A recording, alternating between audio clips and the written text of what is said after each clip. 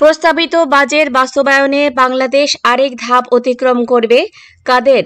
আওয়ামী লীগের সাধারণ সম্পাদক এবং সড়ক পরিবহন ও সেতুমন্ত্রী ওবায়দুল কাদের বলেছেন, দুই হাজার বাইশ তেইশ অর্থ বছরের প্রস্তাবিত বাজেট সফলভাবে বাস্তবায়নের মধ্য দিয়ে বঙ্গবন্ধুর স্বপ্নের সোনার বাংলা তথা উন্নত সমৃদ্ধ বাংলাদেশ বিনির্মাণের পথে আরেক ধাপ অতিক্রম করবে।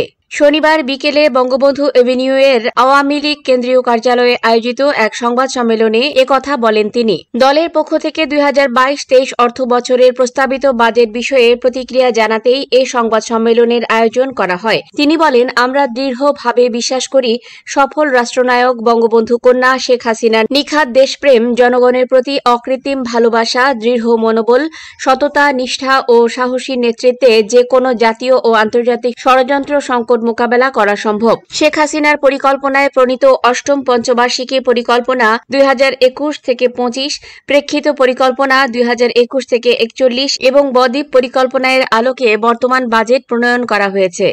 আওয়ামী লীগের পক্ষ থেকে বাজেটকে স্বাগত জানিয়ে দলের সাধারণ সম্পাদক বলেন, বাংলাদেশ আওয়ামী লীগের পক্ষ থেকে এ বাজেটকে স্বাগত জানাচ্ছি। কোভিড উত্তর পরিস্থিতি এবং ইউরোপের চলমান যুদ্ধ, বৈশ্বিক অর্থনীতির ওপর যে চাপ সৃষ্টি করেছে তা বিবেচনায় নিয়ে বলা যায়, প্রস্তাবিত বাজেটটি সম্পূর্ণভাবে বাস্তবসম্মত ও সময় উপযোগী ওবায়দুল কাদের বলেন, বঙ্গবন্ধু কন্যা শেখ হাসিনার দূরদর্শী নেতৃত্বে সম্পূর্ণ আত্মনির্ভরশীল এক জাতি গঠনের প্রত্যয়ে বাংলাদেশের ঘুরে দাঁড়ানো বাড়ানোর বাজেট। আমরা গণমুখী ও জনকল্যাণকর বাজেট উপস্থাপনের জন্য শেখ হাসিনা এবং অর্থমন্ত্রী আহম মুস্তফা কামালের প্রতি ধন্যবাদ জানাচ্ছি।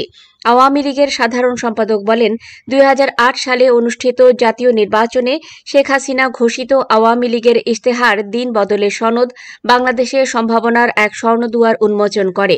দুই তৃতীয়াংশের বেশি সংখ্যাগরিষ্ঠতা নিয়ে শেখ হাসিনা প্রধানমন্ত্রীর দায়িত্বভার গ্রহণ করেন। বাস্তবায়ন করেন রূপকল্প দুই হাজার একুশ। একইভাবে শান্তি, গণতন্ত্র, উন্নয়ন ও সমৃদ্ধির পথে এগিয়ে যাচ্ছে বাংলাদেশ। শিরোনামের ইশতেহারে জনগণের ম্যান্ডেট নিয়ে দুই হাজার চোদ্দ সালে টানা দ্বিতীয়বারের মতো সরকার গঠন করেন শেখ হাসিনা। সেতুমন্ত্রী বলেন, সমৃদ্ধির অগ্রযাত্রায় বাংলাদেশ ইশতেহার নিয়ে দুই হাজার আঠারো সালের ত্রিশ ডিসেম্বরের নির্বাচনে জয়ী হয়ে টানা তৃতীয়বারের মতো আওয়ামী লীগ সরকার গঠন করে এবং শেখ হাসিনার চতুর্থবারের মতো সরকার প্রধানের দায়িত্বভার গ্রহণ করেন। গত ১৩ বছর ধরে শেখ হাসিনার গতিশীল নেতৃত্বে এক সোনালী অধ্যায় অতিক্রম করে চলেছে। বাংলাদেশ আজ সংকট মোকাবেলায় বিশ্বের যে কোনো দেশের কাছে এক অনুকরণীয় রাষ্ট্র। আর শেখ হাসিনা বাংলাদেশের সব সংকটের একমাত্র পরিত্রাণকর্তা। ওবায়দুল কাদের বলেন, বর্তমান বিশ্ব অর্থনীতির বাস্তবতায় পৌনে সাত লাখ কোটি টাকার এ বাজেট শেখ হাসিনার নেতৃত্বে অর্জিত বাংলাদেশের অর্থনৈতিক সক্ষমতার প্রতিফলন। শেখ হাসিনার নিরবচ্ছিন্ন নেতৃত্বের কারণে বাংলাদেশের অর্থনীতি গত দেড় শতকে এক শক্তিশালী ভিত্তির ওপর দাঁড়িয়েছে।